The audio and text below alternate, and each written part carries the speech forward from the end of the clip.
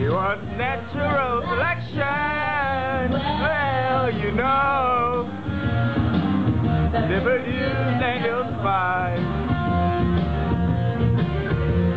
It's so production competition. Mission. Well, you know.